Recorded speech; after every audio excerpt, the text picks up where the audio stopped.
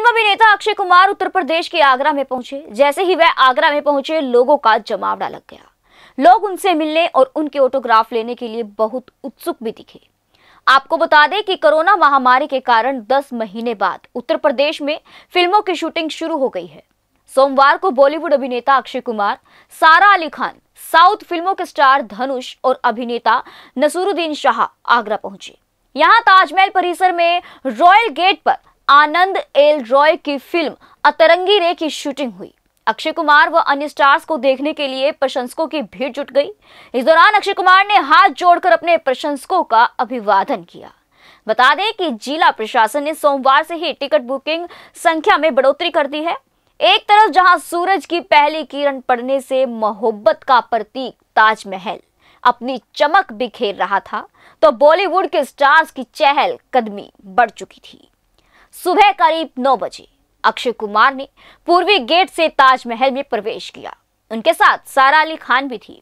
उन्होंने सीआईएसएफ के जवानों के साथ मुलाकात की और उनके साथ फ़ोटो खिंचवाई। इसके बाद वे शूटिंग की तैयारियाँ देखने लगे। बता दें कि अक्षय कुमार रविवार रात आगरा पहुँचे थे। जबकि सारा अली खान शाम को आगरा आ गई थी। बताते चले कि फ़िल्म के कई कई अंश तमिलनाडु में शूट हो चुके हैं। आगरा में फ़िल्म अतरंगी रे की shooting Taj Mahal, Mohabbat Bagh, Agra fort Sikandra, Fatehpur Sikri, saint John's college, स्ट्रेचरी बीच, पुराना आगरा समेत चंबल के बिहड़ों में भी होगी।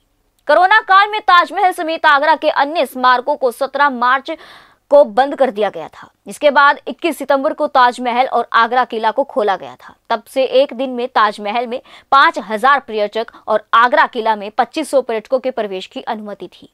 लेकिन क्रिसमस से पहले भारतीय पुरातत्व सर्वेक्षण ने पर्यटकों को बड़ा तोहफा दिया है।